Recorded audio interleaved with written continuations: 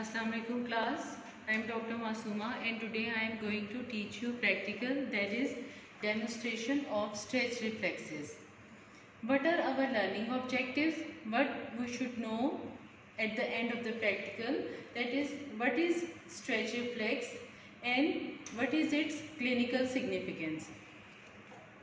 Second, how the reflex uh, stretch reflexes are elicited and what is the difference between upper motor neuron lesion and lower motor neuron lesion.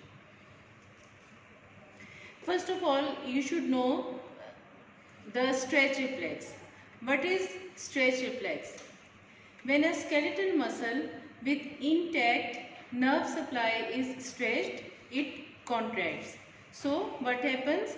That is a skeletal muscle whose nerve supply is intact. Whenever it is stretched, it will contract. What we are doing in the stretch reflex? We are applying stimulus that is stretch of the muscle. What response we can see or we are seeing is the contraction of the muscle and what are the sense organ these are the this is the muscle spindle that is located within the fleshy part of the muscle and it detects the change in length and rate of change in length of the muscle. You can see in this diagram that this is a skeletal muscle and we stimulate the muscle by stretching it.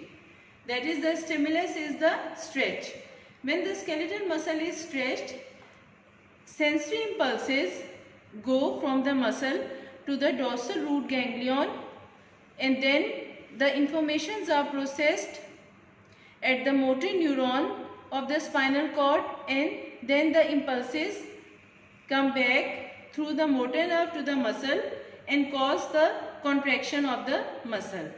This is the diagrammatic representation of the stretch reflex and this is also the principle of our practical. This whole reflex which I have told over here in the form of definition or as diagram. This is the principle of our practical. That is when a tendon of a lightly stretched muscle is given a single sharp blow with a clinical hammer.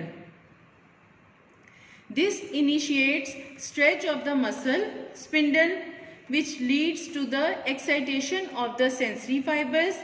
These afferents run via dorsal nerve root to anterior horn cells of the spinal cord where they stimulate efferent neurons and cause contraction of the muscle.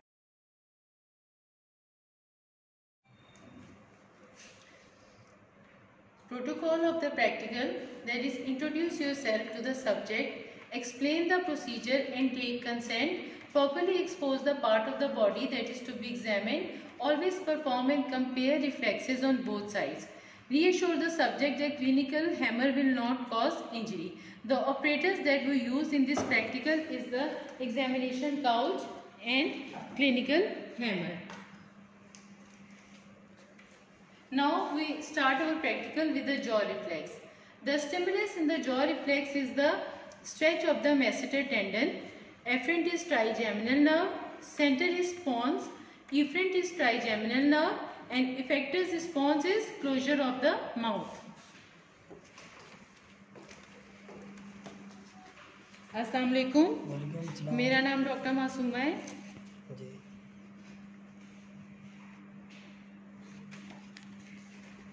मेरा नाम doctor Masuma है। मैंने आपके चेहरे और बाजू का मुआयना करना है। इसमें जो हम इस्तेमाल करेंगे इंस्ट्रूमेंट वो एक हैमर है लेकिन उससे आपको तकलीफ़ नहीं होगी We place the thumb in the midline over the subject's mandible with the mouth slightly open. You can see that we have placed the thumb in the midline and the subject mouth is slightly open. We tap the examiner thumb with the clinical hammer. So, what happened? Uh, that is, the response is closure of the mouth due to contraction of the masseter muscle. Normally, this reflex is absent or diminished. However, in individual with upper motor neuron lesion, the jaw jerk can be quite pronounced. In the upper limb, we check bicep reflex, tricep reflex and brachioradialis or supinator reflex. In the bicep reflex, the stimulus is stretch of the bicep tendon, afferent is musculocutaneous nerve and the center is C5 and C6. Efferent is musculocutaneous nerve and what, the what response we will see there is flexion and pronation of the forearm due to contraction of the bicep muscle. We, we flex the subject's elbow at right angle. Support the forearm in semi-pronated position. The forearm is in semi-pronated position on the examiner's arm. We place the examiner's thumb on subject's bicep tendon and strike it with clinical hammer. So, what we have seen, there is flexion and pronation of the forearm due to contraction of bicep muscle. In the tricep reflex, the stimulus is stretch of the tricep tendon, afferent is radial nerve and the center is C5 and C6 and the efferent is radial nerve. Response is extension at the elbow. In the bicep reflex, we place our thumb over the tendon of the bicep muscle and we do not directly apply the clinical hammer. Why? Because some tendons are very delicate like tendon of the bicep muscle and if we directly apply the hammer over that tendon, it can be crushed or damaged. So, uh, while doing that reflex, we put our thumb over the bicep. Now we will perform our tricep reflex. In this reflex, we support the uh, subject's elbow and uh, we flex the subject's arm at right angle. You can see that the subject arm is flexed at right angle and we strike the tricep tendon just proximal to the point of the elbow.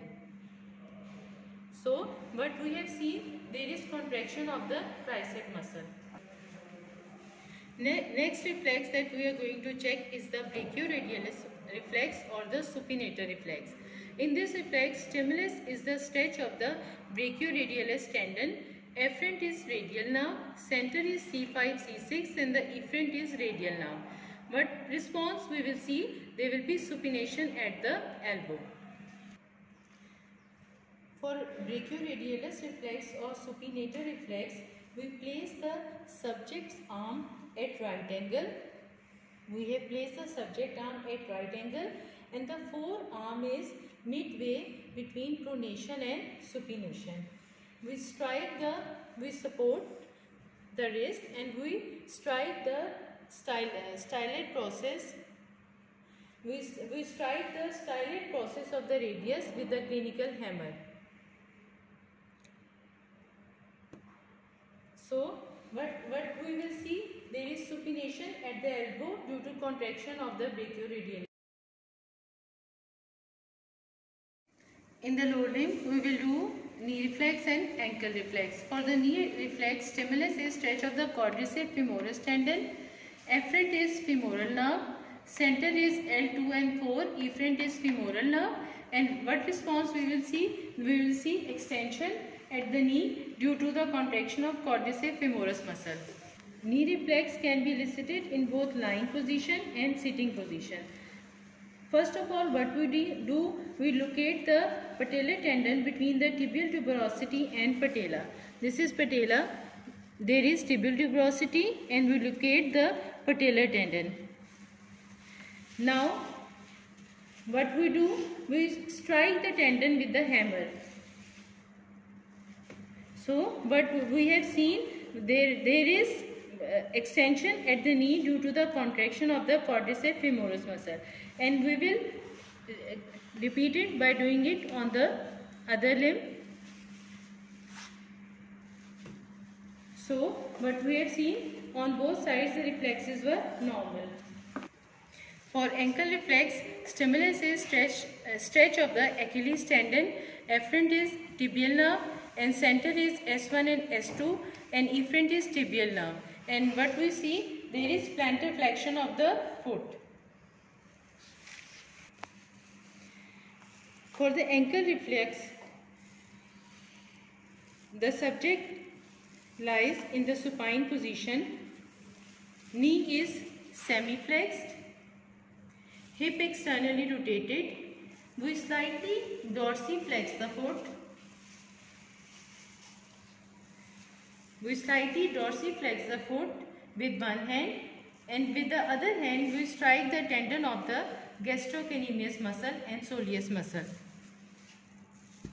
And what we have seen that there is plantar flexion of the foot due to the contraction of the calf muscles.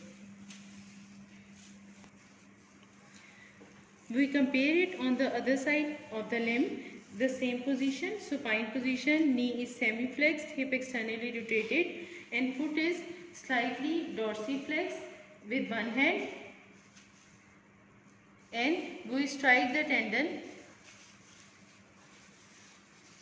of gastrocnemius muscle and what we see there is plantar flexion of the foot due to contraction of the calf muscles. Okay. What is the clinical significance of doing these reflexes? Stretch reflexes are tested to, to determine the presence or absence of lesion in the nervous system. So, they provide essential information about the status of the central and peripheral nervous system. Reflexes can be brisk or they can be hyperreflexia. We, we can see hyperreflexia in the following condition in the upper motor neuron lesion, in anxiety, in hyperthyroidism and in tetanus. Reflexes can be diminished or abolished in the uh, case of lower motor neuron lesions and coma. Then there is another uh, condition that is known as clonus. What is clonus? It is the rhythmic series of involuntary muscle contraction in response to sudden stretch. It may be sustained and sustained clonus is seen in the upper motor neuron lesion. In determination of the clonus, we support the flexed knee by passing one hand under it so that the ankle is lifted from the bed. Then with the other hand, we dorsiflex the foot with sustained pressure. If the clonus is present, there will be alternate plantar and dorsiflexion of the foot as long as the pressure is maintained.